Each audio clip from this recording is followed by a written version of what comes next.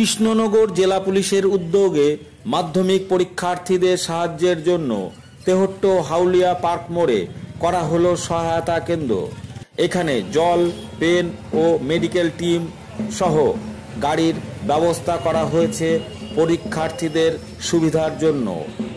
আজ এখানে উপস্থিত ছিলেন তেহট্ট থানার আইসি তাপস পাল সহ অন্যান্য পুলিশ আধিকারিক।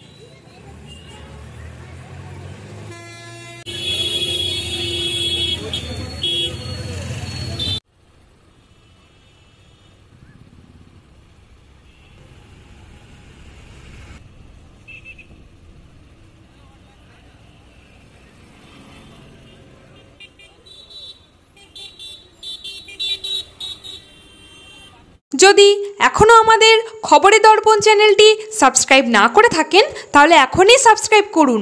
সঙ্গে বেল বাটনটি ক্লিক করুন আর পেয়ে যান সব খবরের দ্রুত ভিডিও আপডেট।